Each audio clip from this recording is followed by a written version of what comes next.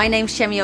I'm Britain's best ranked ski racer, triple Olympian, and we are here today doing a photo shoot for Mizuno because they've just brought out this fabulous winter range, and um, I'm lucky enough to be able to get in to wear it. I do like doing photo shoots because it brings out the glamorous side. You know, I am a girl, I might be a speed, adrenaline kind of freak in my day job, but at the same time, when you get all done up and you have these lovely ladies doing your makeup and they make you look really glam, you're like, oh god, I'm a lady!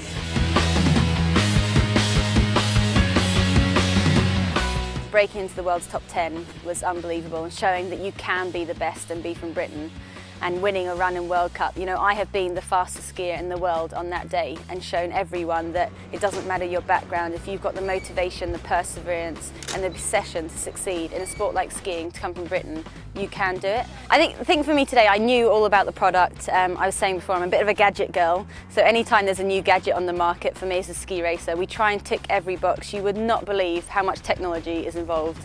We have 40 pairs of skis for all different snow conditions, so everything is important, down to you know the cat suit we wear to the undergarments underneath. So that's why I met Mizuno a while back, and the Breath Thermo is a product that I really believed in. For me, anything that keeps my muscles warm and prevents an inkling of injury coming into anything that I do is really important. So, you know, I'm out there training all day long, we'll do 11 runs a day, and you get really sweaty, you know, your heart rate's 180. And, and what these products do is they use that, that moisture and turn it into heat. So when we're sitting on the chairlift on the way up, that's when your muscles normally get really cold and that's when you're liable to be injured. So they kind of keep that warmth throughout the body for the whole day on the slopes, which is invaluable for us.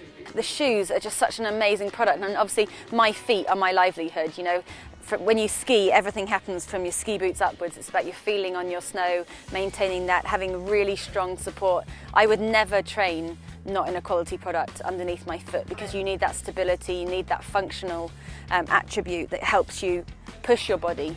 Outside the sport, because I've still got a little rehab time, I want to change people's perception of ski racers to show that, you know, we're massively dedicated and, and motivated and also, you know, to show that I can do other things, a bit of adventure, a bit of exploring um, and there's no female out there who's doing that right now so I can fill that kind of void whilst doing my rehab to come back and, you know, I might not be better than eighth in the world when I come back, but this is a chance I have to take. I can't retire on a crash because I know that I had more in me.